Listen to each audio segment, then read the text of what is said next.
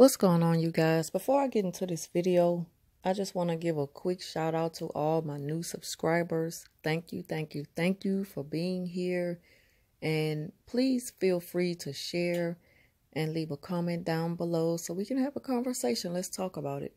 And also, don't forget to hit the bell so that you'll be notified as soon as I upload a new video. So I titled this video, Are Narcissists Born That Way? Or were they made that way of some point during their upbringing? Now, I mean, in my mind, I know that a narcissist, they couldn't been born that way. I mean, what does an infant know about manipulation? And I mean, just the thought of it is funny to me, but on a serious tip, like I don't believe that narcissists are born that way. They were raised into like a dysfunctional household. And by either, like I say, guardian or parents or whoever raised them. This is who made them that way. And um, when the child was like old enough to have good understanding, is when the mental and the verbal abuse took place. And sadly, maybe even physical abuse. And to go even deeper,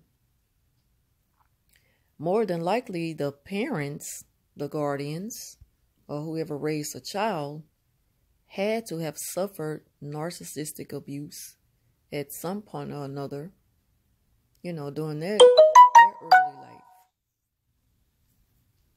I'm sorry for the notification. And until those chains are broken, the cycle of abuse will continue from generation to generation. And um and side note, I'll also be doing a video soon on black families and a generational curse. So narcissistic parents or the guardians they probably suffered a great deal of abuse. And like they say, hurt people hurt people. And while raising their own kids, they kind of begin to pass on what was distilled in them down to the child.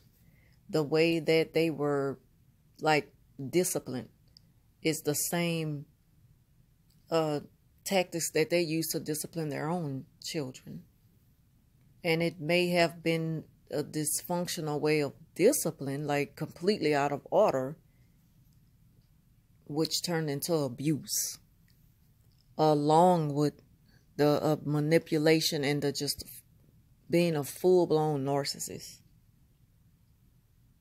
It's like a revolutionary spirit of manipulation and a lack of empathy towards people.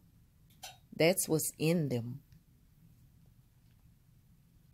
And I once had a conversation with a narcissist, and she told me she was just really upset at that moment and she was venting to me because she know that I was always, you know, I would be there. She know me.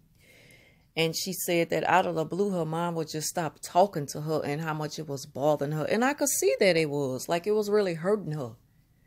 And um, you know when you when i look at it now i know better because i didn't know that she was a narcissist myself back then when she told me this.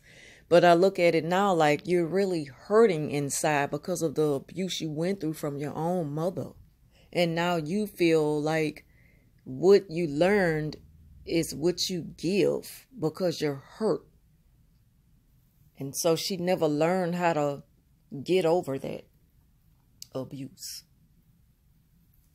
and so, I mean, that's pretty much what I take. That's pretty much my take on narcissistic abuse as far as the narcissist and were they born or were they made that way. And I really do believe that they were made that way. And it's just a, another generational curse. So that's it, y'all. If y'all enjoyed this video, please give it a thumbs up and leave a comment down below. I want to thank you for watching, and I'll talk to you soon.